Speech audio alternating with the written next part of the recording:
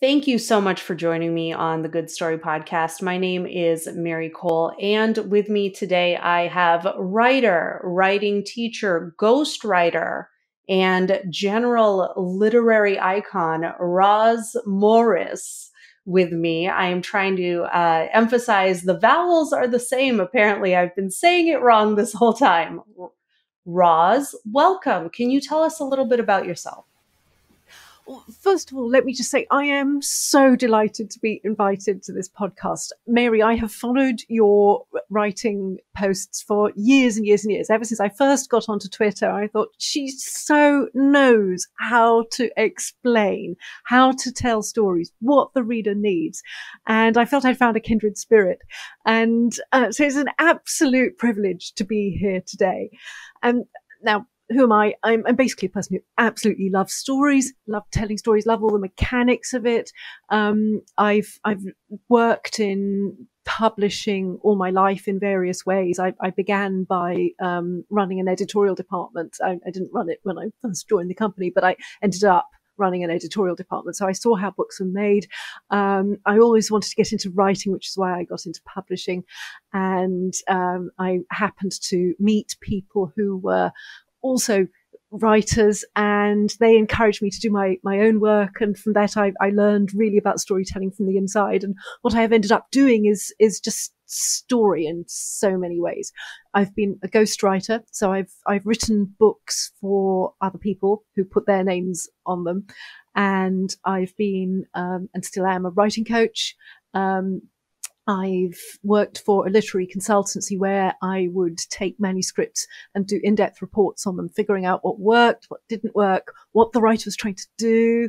So really trying to wriggle into their minds and see what they really wanted their book to be and to figure out how, how, how they could give that to a reader. I've, um, written books about this, about how to write. Um, it's my series called Nail Your Novel. Um, I've got three books no, four books in that series. I've got a process book, a workbook based on that. I've got a book on how to write characters and a book on how to write plot. And I've got various creative works on my own, which is where I started, just, you know, like we all do, a person with an urge to write because there's just something inside that's got to come out. And um, I've done three novels. Um, I released my most recent one uh, just last year, um, it took about seven years to figure out how to write it. It was quite a, quite a demanding book, uh, but it eventually came out the way I wanted it. I mean, it's it was a complex idea, and I just had this feeling there's something really big in here, and I've got to figure out how to make the reader feel it as strongly as I do. And um, I always find that's the, the rewarding thing. Um, it's a lot of problem solving. When you get it right, the reader just has a blast of a journey and you feel, okay, all the work was worth it. and then I've also got a memoir, which was a travel diary that I had hanging around. And I, I just um, thought one day, oh, I wonder if I could do something with these. And I actually meant to just put them in a novel. And then my husband said, no, write them as they are. They're great. And I thought, no one wants a memoir from, from me. No one knows who I am. But uh, various people said, "Oh no, I'd love to read something like that from you." And so I I wrote it, and I had a lot of fun, and people liked it. And now um, I've got another one brewing, which is uh, just great. Um, so yes, I, I write loads and loads of things, but really at heart, I'm a storyteller. I just love telling stories to to sort of uh, go back to the very beginning, uh, I am also surprised that this is the first time we've been sitting down because you and I uh, do similar work. We spin in similar circles. We're both on writing social media, so yes, I, I feel very privileged to have you on, and you certainly do a lot. I think. I want to put a, uh, a question to you that I think about a lot when you switch hats uh, from editorial brain to writer brain what is that shift like for you? Is is that something does it all fall within the category of storytelling to you? Or do you approach things differently when you're sitting down to write your own work versus working with somebody else on theirs? What a good question. I think it all comes from the same place really. Um, when I get an idea for myself, I have to figure out what will be the best way to treat it? As I said, what will make the reader feel the magic that I feel in there and, and the resonances? And when I pick up a manuscript by another writer, I'm thinking, um, what do they want it to be? What's the potential they see in it? How can I help them feel, make the reader feel it? And how can I help them develop it to its strongest work? So it, it's similarly, really, because I find that each book I write is its own creature. And so is each book that I help an author with. So for you, it really, one thing that you said in your introduction was that you uh, find the intention of the writer. You try to figure out, you get into their head and you try to figure out what that nugget is. Let's call it the nugget or the idea, the feeling, the intention.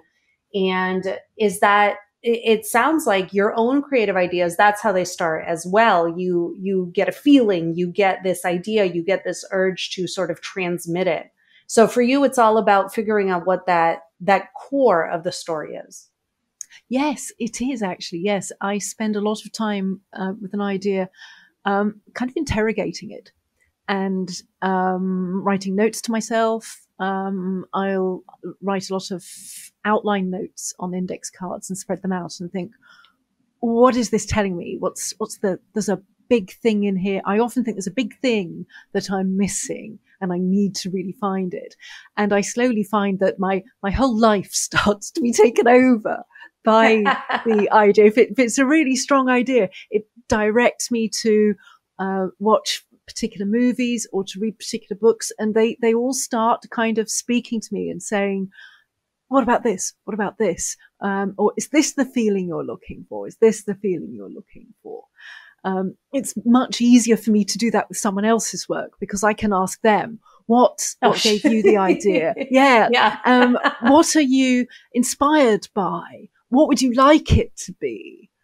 and from that i can i can figure out how to help them make it like that. And often there's quite a lot of um, giving um, craft advice. And uh, what i find and you must find this too when i when i work with authors is that there are certain things they all do already do very well because they've taught themselves. They've concentrated on it. They've really noticed it. They've really worked it out as their thing.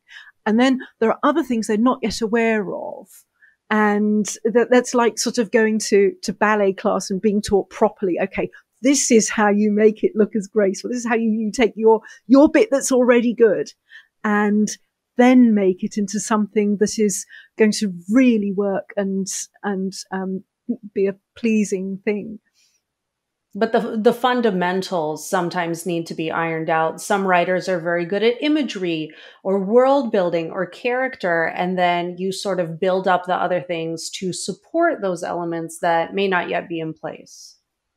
Yes, absolutely. And and techniques like show not tell. The number of times um, I've ended up telling somebody this is actually what you need to do get the effect that you want in the reader.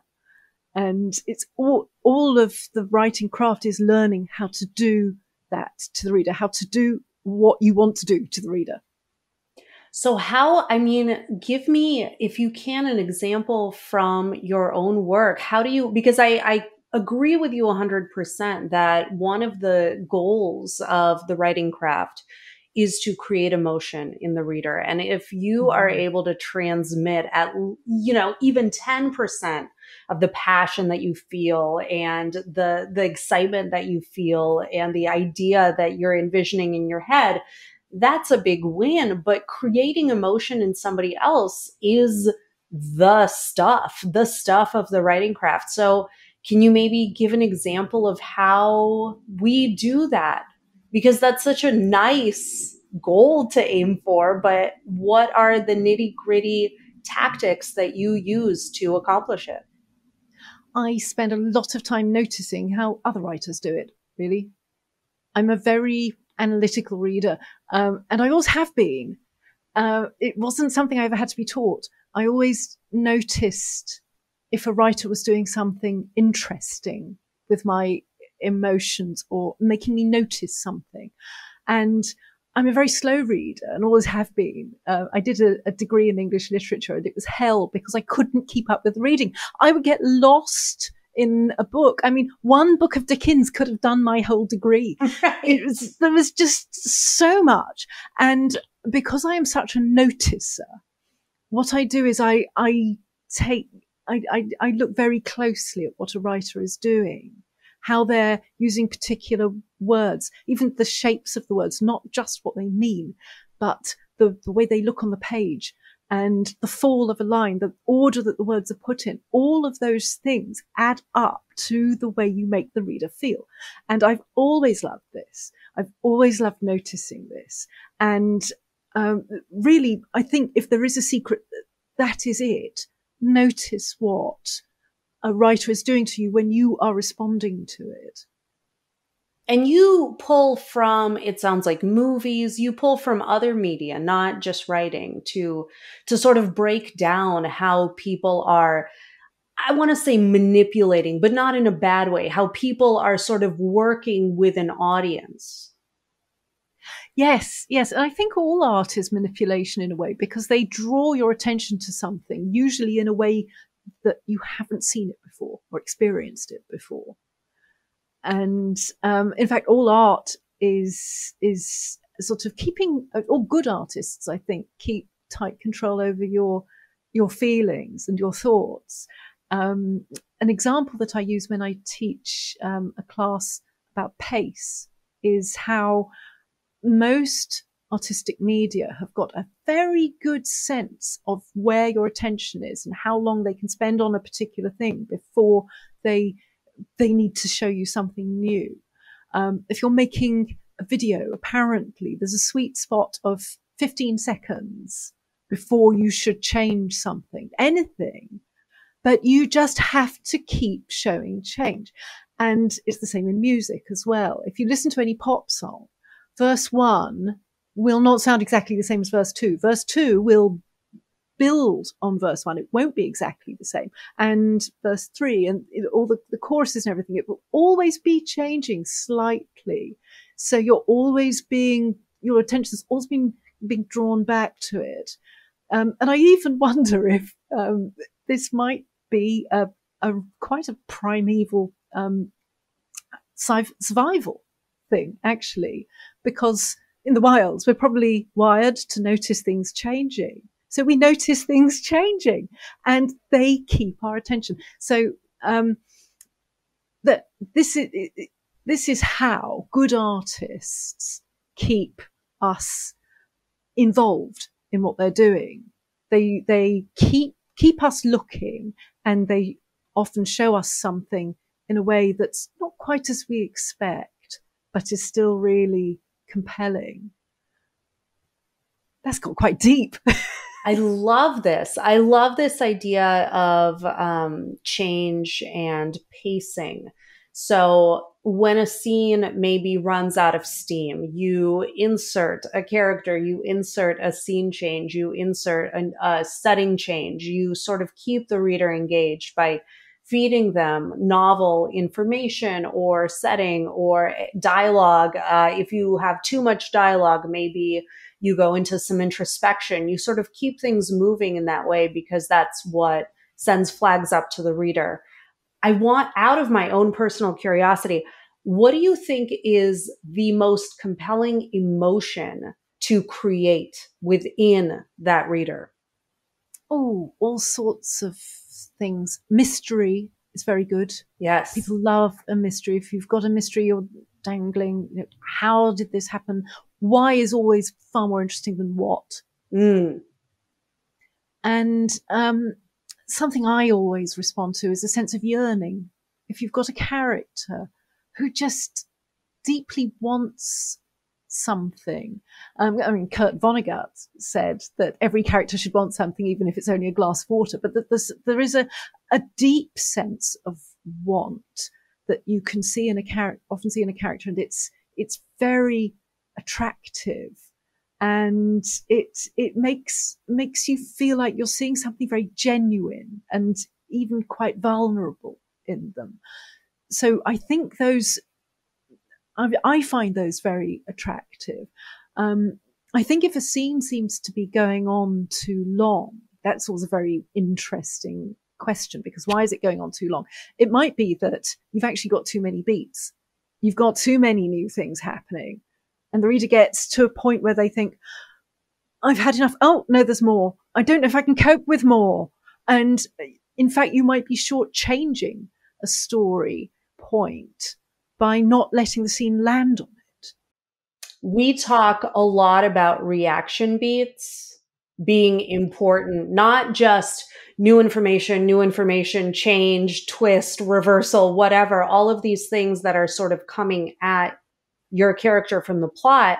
At some point, they do need a quiet moment, whether alone or with somebody else to synthesize some of that because the new information, that's the what but how it affects the character, how it changes anything, the resonance of it.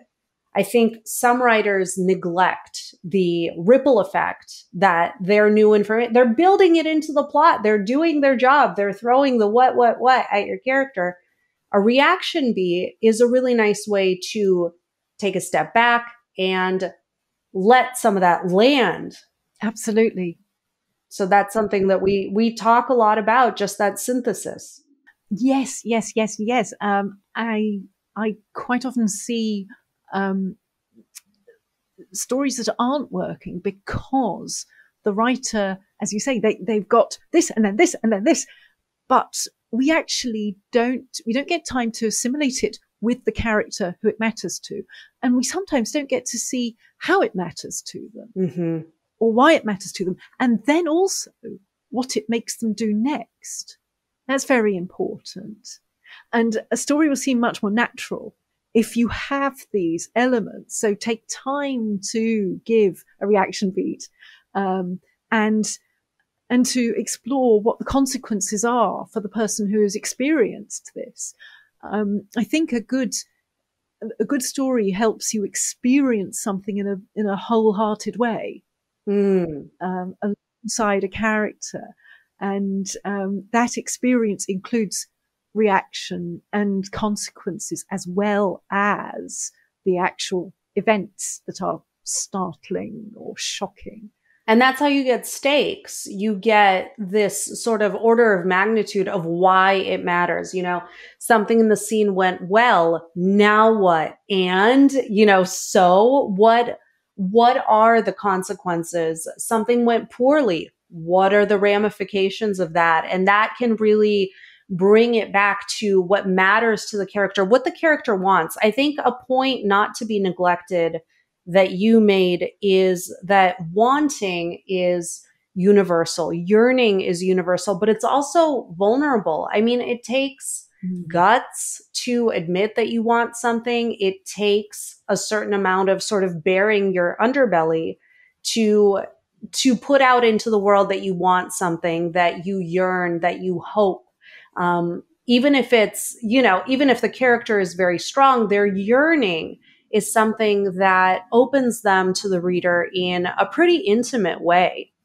I think that's a great way to think about character and what matters to character. And uh, you could open up story potential by putting obstacles in the way of what they're yearning for, you know. But but that yearning, I think, is what connects the reader.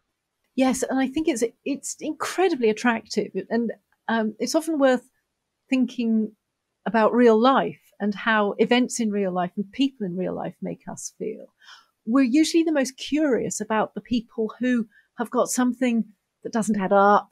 You imagine two people in a relationship and you're, and, you know, we all talk about our friends' relationships, don't we? And, and we, you know, we sort of analyze them. We think, I don't think he's quite the right person for her, or I think she wants something more. And that is incredibly interesting. And it's the, when you see something that's where someone seems to have something missing, that's really interesting. And it is, as you say, it's it's vulnerable and it, it feels like you're seeing something very private. And also, they they may not know themselves, and that makes a very interesting character to write about because you can then put them in a situation where an inner need and an outer need are going to cause friction. And the characters get to think, well, I, I want this, but I don't really want it, but I do want it. And all sorts of wonderful complications can come out of that. I actually did have in um, the novel I've I, I, published last year. I had a character who um, was had become a bit of a celebrity because she was uh, she used to go out with a very famous pop star who was uh, then killed in a mountaineering accident. And she's been trying to kind of live a quiet life ever since. And um, everything, every so often, people keep coming back to her and saying, "Oh, would you, would you just get involved in this because you, you know, you went out with him, you were the love of his life, and so on."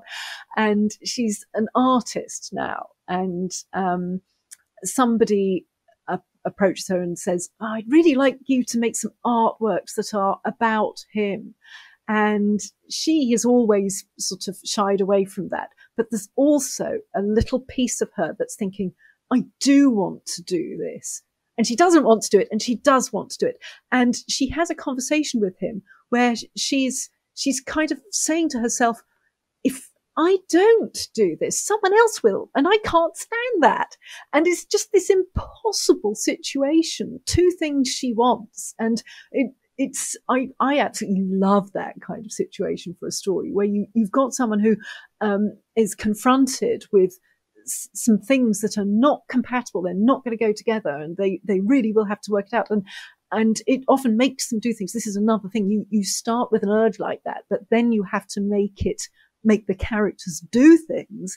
And then you get quite a complex human story where absolutely anything could happen according to whatever you're writing. But the, this inner complication can make for some great stories. So I have a question about that. So we're talking about the want, which is sort of the uh, forward-facing uh, objective that a character has, something that they can say and uh, express that they want. And then the need sometimes, to your example, operates underneath the surface. Maybe they want this career in front of other people, but they need to be taken seriously by a close circle of friends or whatever the case may be. So their want and their need are actually in at odds with one another, which creates a lot of great friction. How do you create a, a juicy need for a character? Want, want can be pretty obvious. Um, but the need is often a little bit more, I don't know, nebulous. Yes, I, I, again, I create um, these characters by thinking, thinking a lot about. I'm interested in the complication to start with. I think so. I will think this situation, I can see some good possibilities. So what is it? What if this? What if that? What if she did want that? What if she didn't want that? And um, playing around and thinking, what what might expose, as you say, their their vulnerable underbelly and put them in a situation that seems to eventually become, you know, a thing that will make them make a big choice that might change their life. Choices are really important. I think you have to think about how you are going to confront a character with choices that are difficult. And then again, that is, that is a very attractive thing in story terms because as readers, we're thinking, well, what will they do? We can see this is, this is not easy. And if, if she does one thing, then that. If she does the other thing, then that. Uh, she doesn't want that. She doesn't want that. Um, and and then also you can bring in other people who will be affected by whatever it is. And, and this is this is a fundamental um, aspect of story that will work whatever you whatever genre you're writing, whether you're writing kind of um, quite story driven literary like I do, or writing a thriller, um, or a fantasy. The, those kind of opposing needs, the real push pull in a person's soul, is always compelling. So you have written, you've written the book on how to write a book. You've written about character. You've written about plot in, in this series. Do you find yourself a character writer or a plot writer? I'm not saying that we have to pick sides necessarily, and they're very interwoven. But I find that a lot of people lead with one over the other? Yeah, that's that's a, a good question. Um, I find I lead I lead with characters, but what I start with is a situation that makes me think, oh, there's a lot to mine in here. Um, with the the novel that I was talking about, the the inspiration actually was um, a, a, story about a, a, guy who fell into a glacier, and um, his body was just stuck in there, and he's sort of gradually kind of coming through the glacier, and the people who knew him are thinking, well, any time he might pop out, and we kind of our lives are on hold because we know he's he's dead, but he's not quite gone. Mm. And, so there's no um, closure. Um, no closure. And from that, I thought, this is so interesting. What, just what might this do to people? And I gradually built up a, a chorus of people who were highly affected by this. And at some point, I, I decided he would be a, a, famous rock star, which just meant the whole world was kind of on tenterhooks for him to come back. But it, for me, it came from a situation and then thinking, what kind of people would have various difficulties with this and separate difficulties too. Because they have to be, if you're going to have an ensemble cast, for instance, as I do in this novel, you have to have a number of different kinds of personalities who react in different ways to the various challenges. And, and um, it, it sort of just gives them uh, different life dilemmas. Um, and from that, I started thinking, okay, we know this person is like this. What would push their buttons? What plot elements would push their buttons? And, and I did that for each person. So the plot came out of the things they would find most difficult. Um, mm but when I've when I've ghostwritten novels, I've, I've ghostwritten quite a lot of thrillers. Uh, what I would do is start with a, a, situation again, but I, I would think, okay, from this situation, there are certain things that the reader will want to see because of, say, the special world of the story. So I'll think, what are those? So I've got to, I've got to give them this and this and this, or they're going to be disappointed. Then I've got to give it to them in a new way. And then from that, I will think, um, who are the characters I need to give the reader the most interesting ride through this? And then what are their personalities going to be? So I kind of design, um, uh, I, I, choose a way round uh, according to what I'm writing, what kind of audience I'm writing for. If I'm writing for, for my kind of audience, then I generally tend to start with the situation and, and the people and, and then tease the plot out of that. If I'm writing something that is more plot based, like a thriller, then I, I will think, okay, I know there are certain kinds of beats I have to, to hit in surprising ways. I better s- start with those and then find the ways to make people who will give the, the reader the best ride. So I was really uh, looking forward to asking about some of the ghostwriting. Um, so how how is a ghostwriting project presented to you? How much creative liberty do you have? I mean, with a thriller, you obviously want to keep in mind some of the tropes, some of the expectations of your audience with a thriller. Um, but when you come on as a ghostwriter, so I would imagine you're getting at least the core of the idea, or if you're stepping into an existing series, you're getting sort of a bible and then what how how much guidance uh, do you have how much freedom do you have and how much do you work with the originator of the series or story or the writer each project is different. Um, sometimes the publisher will have a very strong idea. We want the series to be, if it's a series, we want it to be like this and this and this. Or they might say, uh, we want some books like this person's books. Usually they're thinking, these have sold well, so what can you do that will give us a slice of that pie too? It's very, very commercial. Um, if I'm if I'm working with with a writer who's got an idea, then I I go with that to make it as much of their signature as possible. Usually they are um, well known in some respects, so the reader will expect to see um, some of that life that they already know about reflected in the writing of the book. So really, I, I just kind of notice what is wanted with the project. And and then it, it's it's like building a house for somebody really. Um, i'm kind of the architect and the um, ex- executor of the books. And i use what i know about creating stories um, to to give the, the the client something that is what they want. And do you, uh, what kind of research do you do, or is there interaction with the client? Uh, is there, do they read and give you feedback and then you revise? I mean, how do you, when you step into the shoes of another writer or another idea, how do you hone that instrument?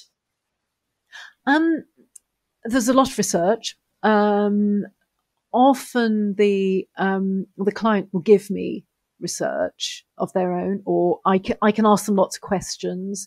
Um, I usually have to do a lot more research of my own because there are always lots of details that you find as you're writing something. You think, oh, I don't know how to describe that.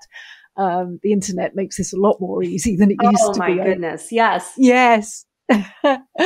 um, I mean, sometimes uh, once I had to to write a novel where uh, people went scuba diving, and I've never scuba dived, so I did have a local a dive shop just up the road. So I went in there one one morning and said, "I've got to write a novel about people scuba diving. Can you give just tell me what I need to know?" And um, and that was great because I could smell the stuff and feel it and put it on and see what everything felt like.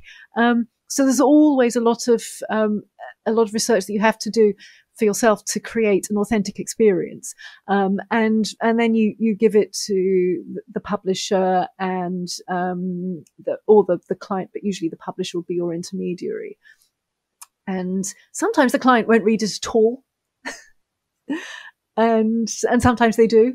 Um, it's it, every every project's different but i always try to to make sure i do enough research for the book to be as solid as possible. And, and i have had people write to to me right i got the letters forwarded from the the publisher and they said oh yeah that was very authentic. You can really tell that, that um, this such and such person has done these things. I thought i've never done any of those things I have never abseiled from a helicopter, for instance.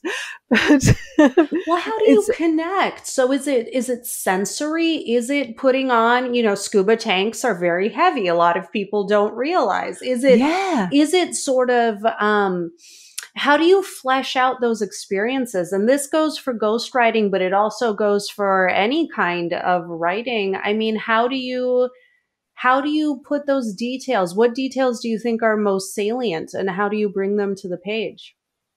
Well, I do a lot of a lot of research to find out how things feel and um, how they emotionally feel as well, and how you think in particular situations if you are used to doing particular things. So, um, for for the novel I, I described to you, um, there was a lot of high altitude mountain climbing, and I've never been up Everest, but I do know how to describe it.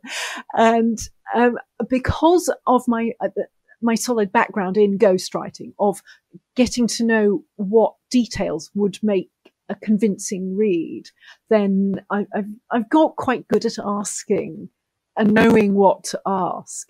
And with with my own novels when I've when I've had um, I've had to write about things I've I've never done. I've I've been lucky enough to find people who would read the manuscript and point out the, the areas where, where I'd got things wrong. You still you do really need an expert reader if you are writing about things that that you haven't done because there will always be something that you've got wrong. But but yes, I mean your your point about the scuba tanks, I do remember noting that, thinking, oh right, well I better be careful. I better not have anyone running with them on. I I have gone scuba diving a couple of times and it gets easier in the water, right? You're not on land with those things most of the time. But that is something a lot of people, to your point, may not appreciate or may not even know that you you can't really run with a with an oxygen tank on your back that well.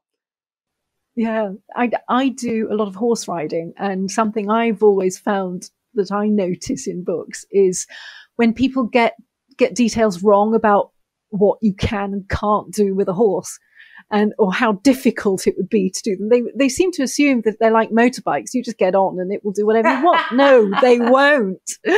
Um, but you can actually get some really interesting story situations out of doing that kind of detailed research. The moment you find you can't do something you think that you want the characters to do, that is a real opportunity actually it's usually an opportunity to to go beyond what the reader expects and to take the reader a bit by surprise as well. And we're, we're always, we were talking earlier about things changing. Um, a good writer will always be thinking about what the reader is expecting and giving them something slightly different or maybe very different.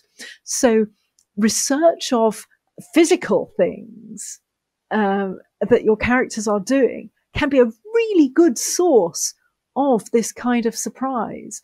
Something you always want is to make things far more difficult for characters. Yes. Than they expected them to be.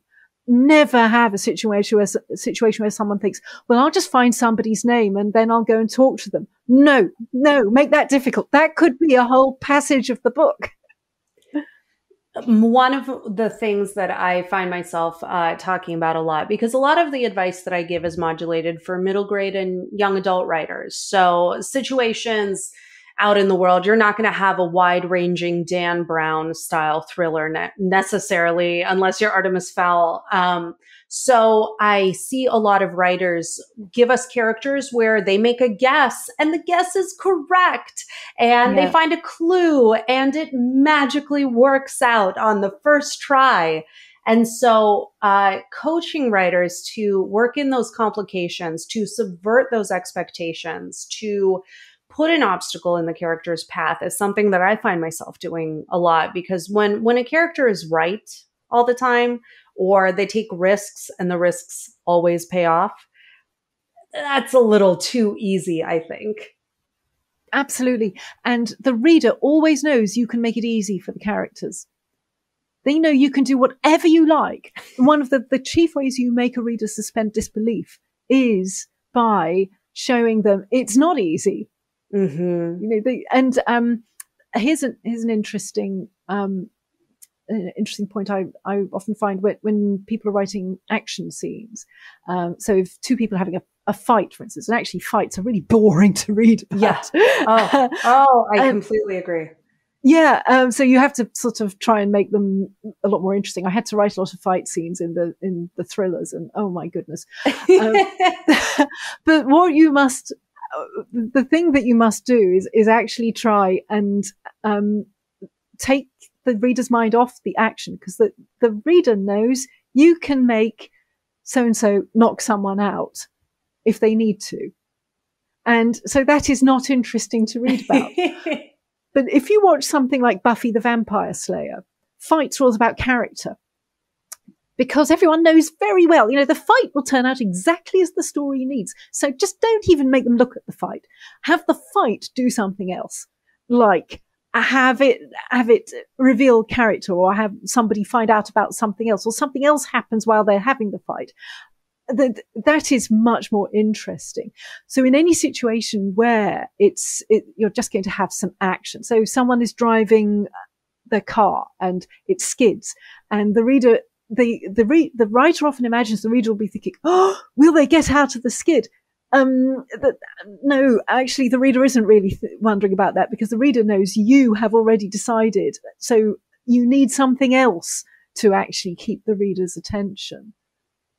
That's a really interesting point. I think we're talking a lot about the the audience's point of view throughout this conversation and how anticipating and preempting what the reader might be thinking will help you make decisions that end up hooking the reader. So who's manipulating who in in this scenario? Yeah, that's that's a really good point. Um, I often think a writer is like um, those very good illusionists. In in this country, we have Derren Brown, who can. He is so in control of everything you are thinking and feeling, and everything he's making you look at and misdirecting you. And I think a good storyteller has to be like that. they'll set something up and they'll they'll think, oh, but I've actually smuggled this in, and you didn't notice, but it was there all along.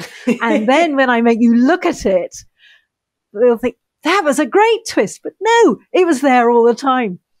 Mm-hmm. Mm-hmm.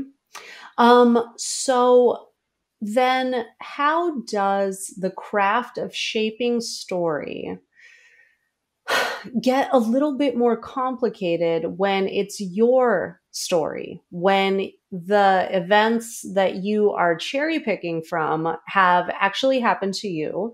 You're writing a memoir and you can't just choose from your bag of tricks necessarily. Or can you? I mean, how is the experience of creative nonfiction compared to fiction?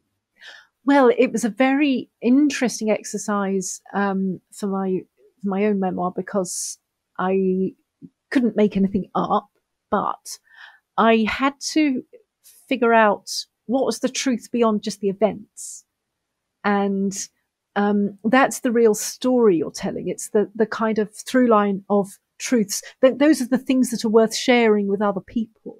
The actual events are maybe not that interesting, but it, it's the universal aspects of life that that readers will recognize and will start to tune into. And I find when I'm coaching people with memoirs, um, that's that's what I'm looking for. I'm looking for ways to help them cherry pick. Not everything can go in. Um, cherry pick a strong through line to tell a story that will resonate with quite a lot of people. We've all been in a situation where someone has told them what, told you what happened to them today, and you think, oh, so what?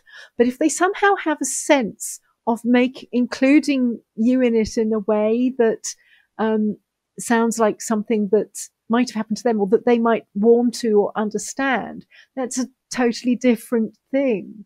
So I think that's what, what, what you do with a memoir. You, you start off with all sorts of possible events that could go in. But then you have to, to think of what you're telling that's not just about you. It's about confiding and helping a, a reader almost, um, share, share their own world with you in, in the process of reading.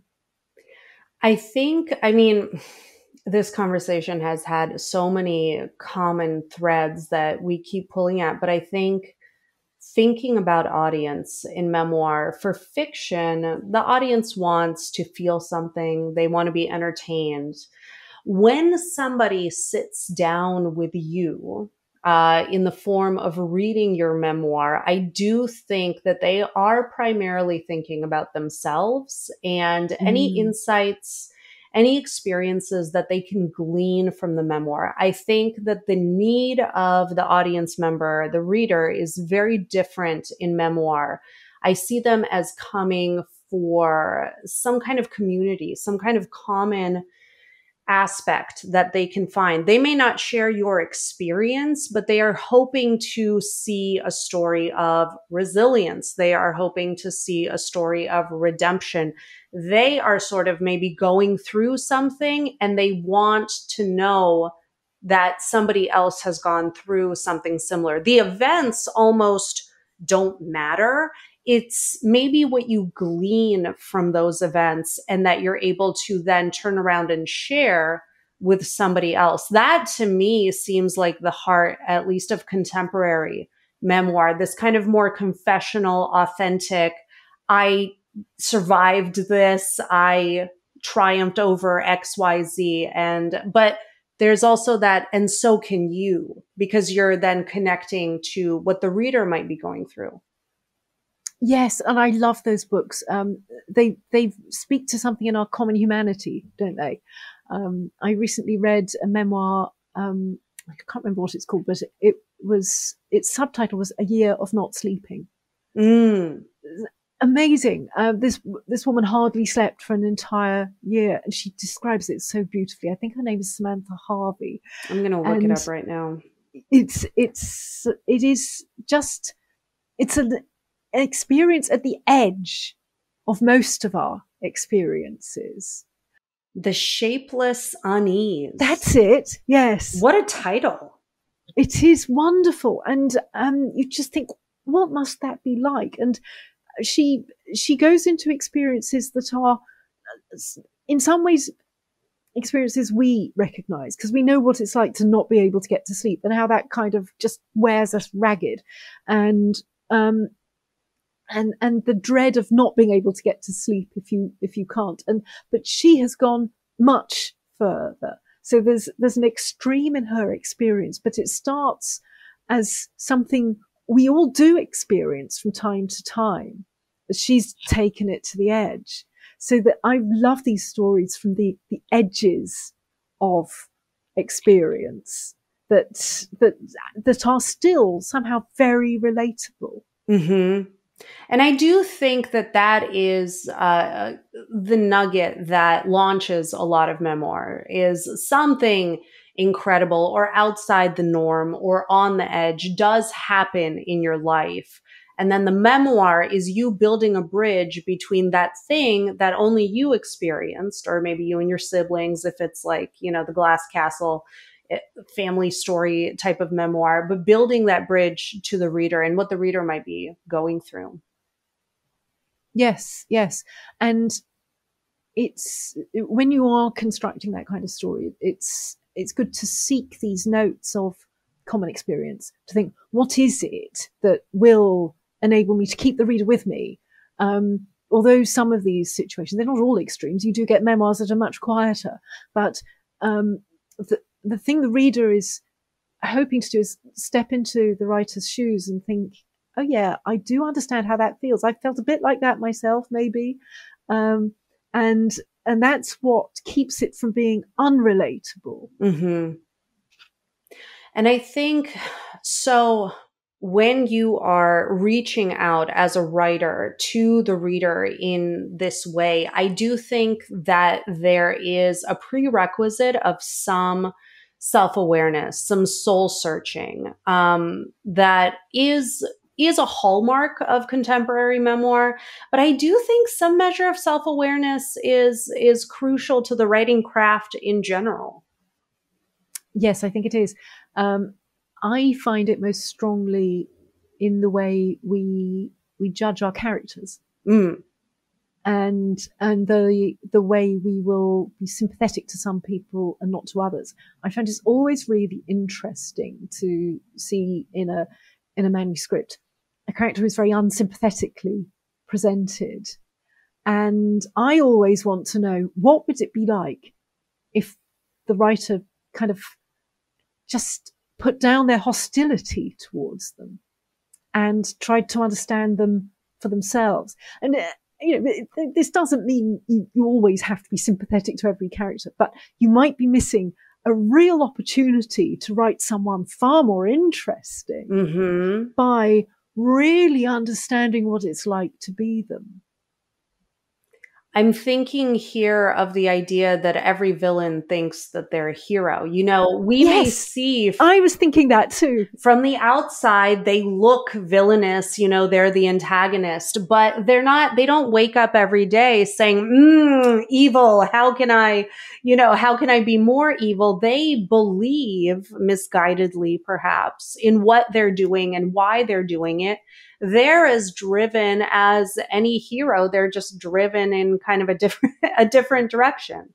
Yes, um, and I, I can't remember who said this, but something I read a long time ago that that, that really stuck with me was that um, every, with a villain, it might be an actor who was talking about this, but it was um, find why it's good to be them, mm. mm-hmm. because then you'll play them in a fully rounded human way. Um, but uh, you, I often find in, in manuscripts there'll be certain characters that the writer has a blind spot about, and I'm thinking that there's a way here in which you you could be kinder to them, and just see what what happens. It's it's always worth trying. I'm thinking of, so I'm very late on the train uh, to watching Succession, where I think everybody's big comment though is that everybody is so unlikable.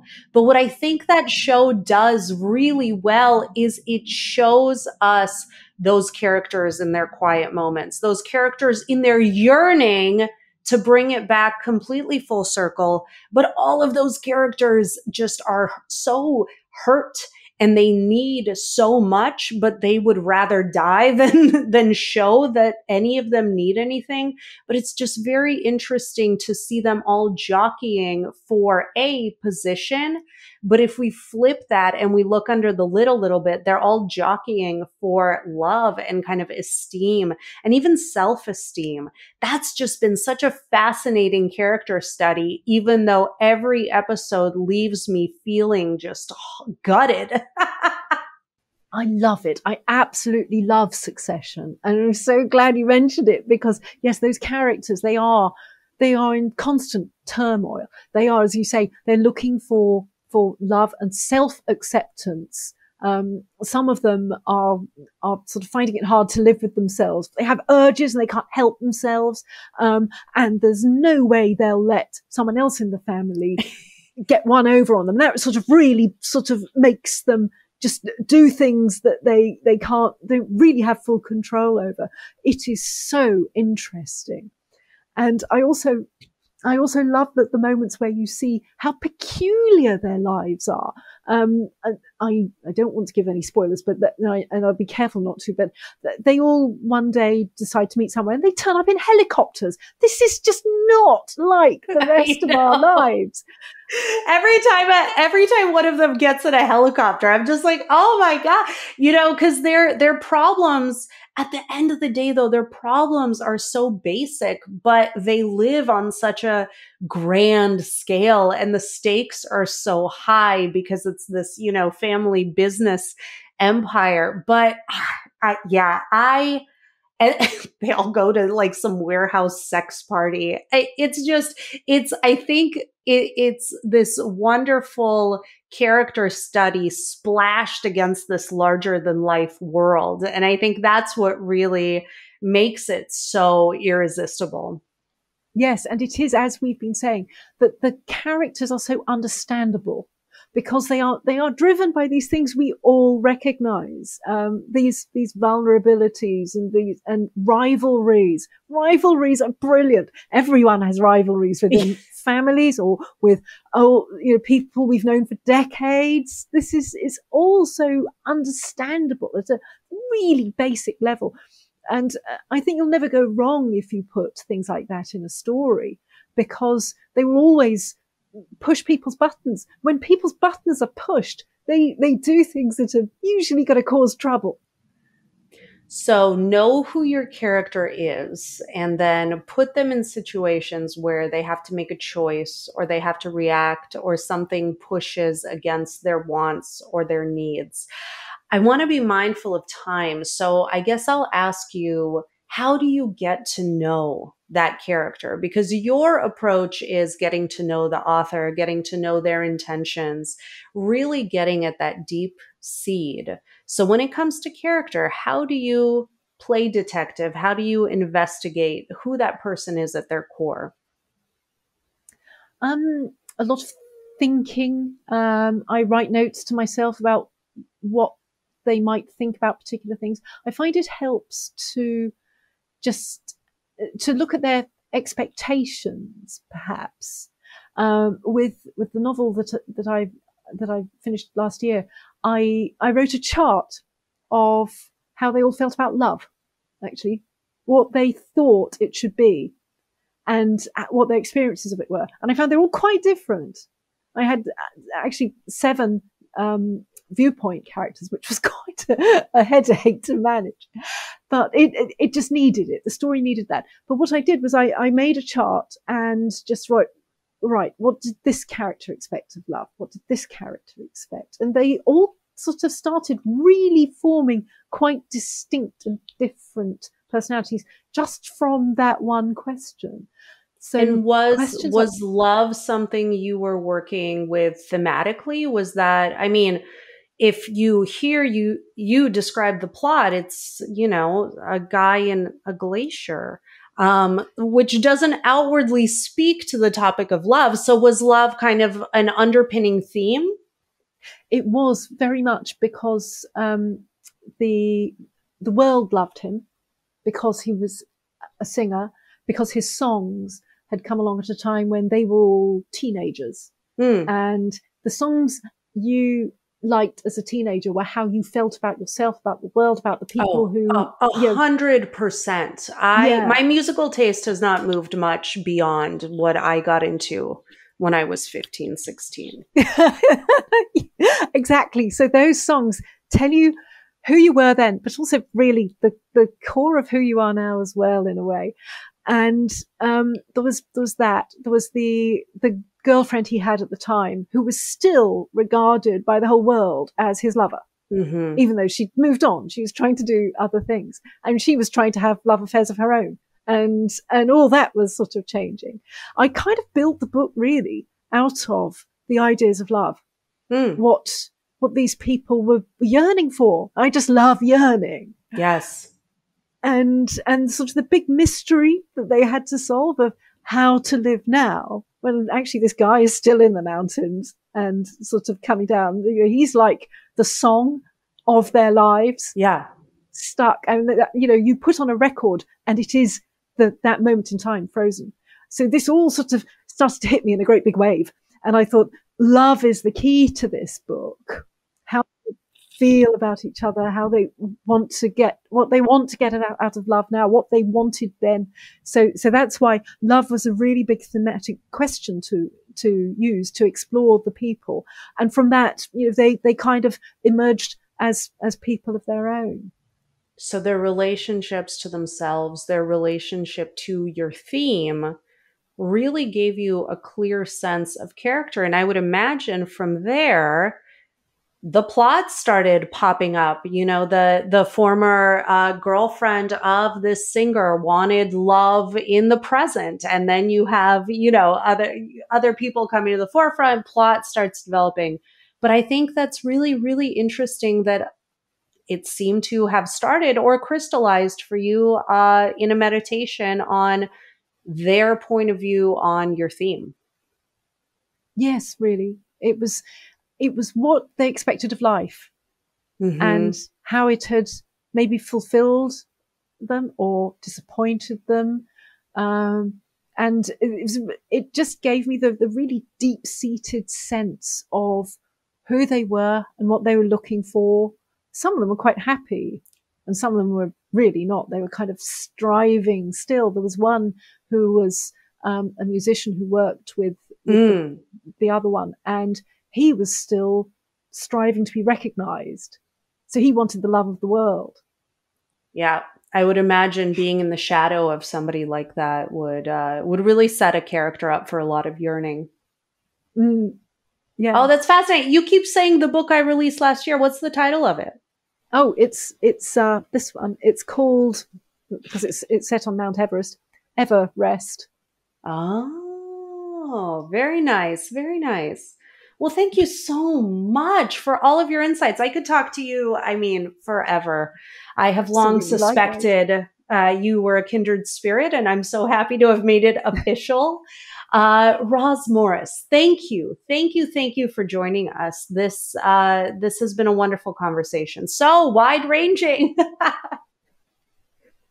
Absolutely. Yes, I could I could talk to you forever as well. And and as I said, you know, I've I've long um, appreciated your posts and thought, yes, she thinks like I do. This is great. Uh, well, your viewpoint, I think, has given listeners a ton to think about and just so much wisdom. Thank you, thank you, thank you. Uh, my name is Mary Kole. This is uh, the Good Story Podcast. Thank you again, Roz, for joining us. and thank you for having me. And here's to a good story.